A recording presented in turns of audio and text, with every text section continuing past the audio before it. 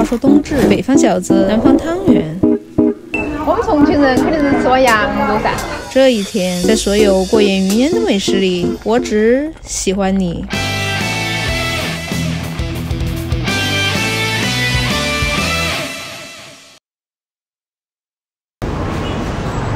那一家我嘎时尚很多年，今儿终于找到了。失散多年，必须符合三个原则：第一是够老，八九年以前在这儿啊，哇，他那个是有点年深了哦哈，八七年。他家今年三十多岁，勉强算个合格吧。第二是若即若离，我听说那儿是开半年耍半年的，那个事情就问老板嘛，哪个是老板？哪个才是老板？哪个？皮肤最白那个才是老板。因为这位皮肤很白的兄弟，闲云野鹤般的开半年休半年，让我在某个炎炎夏日里和他家失散。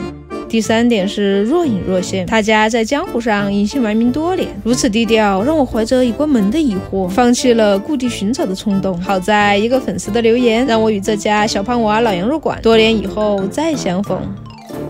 他家的特色是羊的各个部位都能以重庆江湖的形式一一呈现。话不多说，尖椒羊肝、火爆羊腰、红烧羊脑、泡椒羊肉丝、粉蒸羊肉和羊杂汤安排。我是旧友重逢，吃得个酣畅淋漓，却一不小心忽略了吃不惯羊肉膻味的小伙伴。看看同桌的反应，你也吃不下去？哎，这算是正儿八经的重庆羊肉老味道，也是南北方人吃羊肉不可逾越的结界。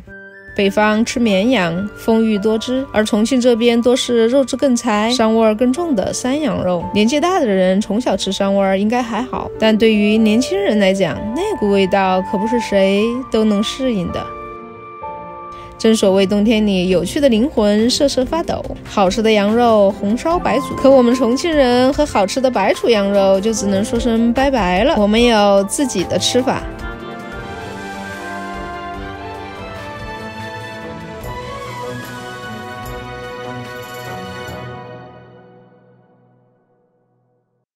当年的老羊肉馆聚集地解放碑，虽然已经面目全非，但逝者还在夹缝中顽强的生存。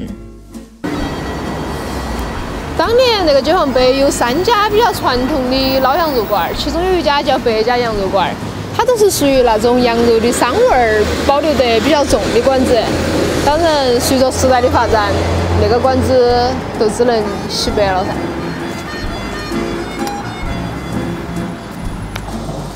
那个地方老重庆人叫它太平门，外地游客叫它白象居，但它其实还有一个身份是啥子啊？就是我们老重庆人很喜欢的一家羊肉馆子的原址，就在那个地方。这家老馆子就是八九十年代重庆崽儿的记忆——鼎食居。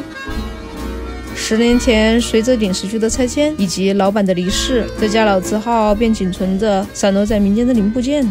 旧址对面的石味轩占据了地理位置和前台迎客传统的优势，而当年鼎食居主理后厨的高师傅，则把店开到了上清寺的这个角落。说起南北方羊肉的差异，高师傅也颇有心得。那种我估计可能只有百分之五的人能接受。如果是个人吃啊，可以；你如果就说要做生意的话，肯定不行。像内蒙人呐，可能吃肥的都得行，像重庆就不得行。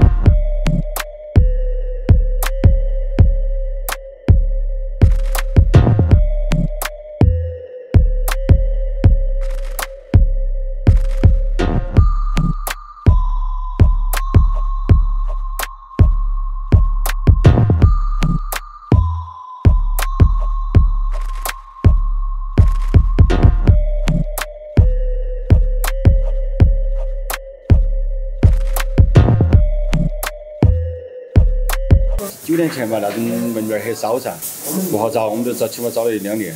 找了一两年，然后还养了一年，老顾客才回来。那那几年岂不是还是比较艰难？哎，对头，还是很辛苦。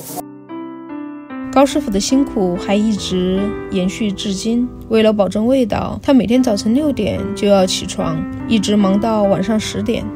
在价格上，高师傅也是想尽办法。目前他家仍保持着红烧羊排十四块钱一份，粉蒸羊肉十二块钱一份的良心价格。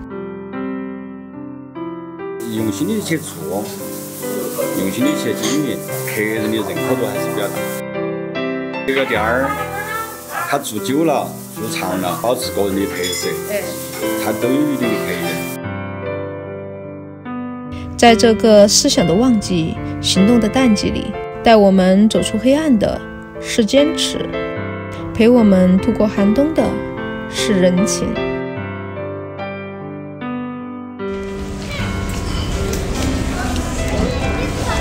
但是要说到重庆羊肉馆子的老味道，还是非那家开了八十多年的馆子莫属。极具年代感的生日蛋糕。白发苍苍的用餐者，人民币买单的过时习惯，经典的三件套组合。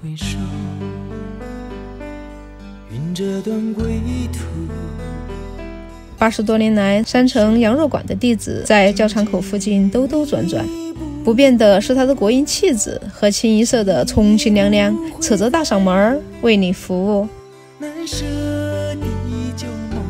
就连老顾客回忆起和他的渊源，也颇有年代感。改革开放前，改革开放的时候呢，我老汉儿在这吃。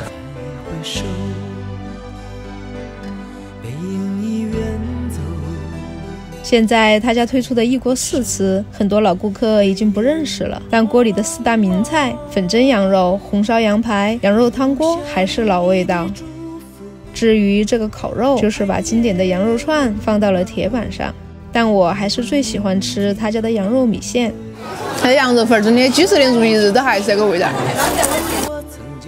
相比起他家二楼正式的用餐环境，一楼简餐区的随意更有烟火气。才知道平平淡淡、从从容容才是真。我老汉儿都喜欢吃，我也喜欢吃。从从小在一起，我也发誓了。只有那。这里保持着寒冬腊月也不会下降的温度。基本还是以前的味道还是有。原来的羊扒鸡，那时候味儿好像混的还多点儿。凝聚着世事变迁也带不走的人情味。以前改过，因为当时给我们建议说不要改，你改了你到后面现在改了，马上就改回来了。泪眼朦胧。以前总以为冬至是黑夜漫漫的开始，其实从冬至这天开始，太阳已经从北回归线向南移动，背后的运行机制正朝着温暖的方向驶去。但我们却常被温度继续下降的感受所裹挟，被眼前的得失所迷惑，时常忘记轮回的规律和远方的目标。模式管理网络化呀，媒体素质那些高一些现代词汇，不要人员那种经营，嗯，老祖宗的智慧斗转星移，跨越千年，而从未曾改变。距离冬的尽头，春的开头，差的不过是一个坚持。加油，春天就要来了。才知道平平淡淡、从从容容才是真。再回首，恍然如梦；再回首，我心依旧。只有那无尽的长路伴着我。再回首，恍然如梦；再回首，我心依旧。只有那无尽的长路。